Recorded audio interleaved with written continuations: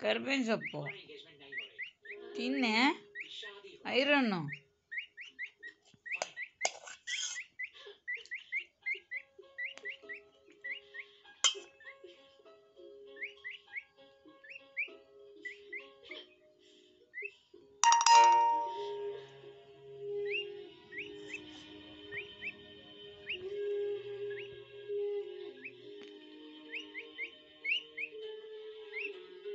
ಯಾಕೋ ಕಣೆ, ಕೆಳಗಡೆ ಬಿದ್ದಿತ್ತಿನಲ್ಲ ತಿನ್ನೋಲ್ಲ.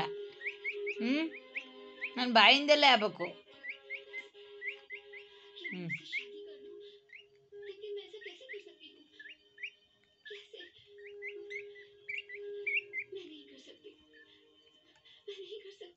ಹೊಟ್ಟೆ ತುಂಬಿತು ನನ್ನ ಮೇಲೆ ಕಕ್ಕ ಮಾಡೋದು ಇವಾಗ.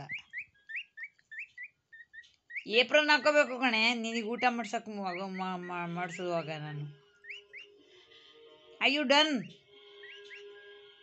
ಸಪ್ರೇಟಾಗಿ ಹಾಕಿಕೊಟ್ರೆ ಉಪ್ಪು, ಖಾರ ಇಲ್ದಲ್ಲೇ ಇರೋದು, ಅದು ಬೇಡವಂತೆ.